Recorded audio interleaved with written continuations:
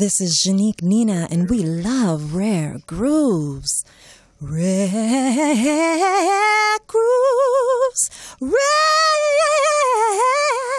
grooves, we love rare.